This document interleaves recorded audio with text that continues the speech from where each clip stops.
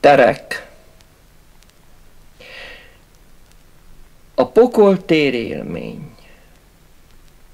A mennyország is. Kétféle tér. A mennyország szabad, a másikra lefele látunk, mint egy alaksori szobába, Föntről lefele látunk, mintha egy lépcsőházból kukucskálnánk lefele, egy akarattal nyitva hagyott, felejtett alaksori szobának ajtaján át. Ott az történik, ami épp nekem kibírhatatlan.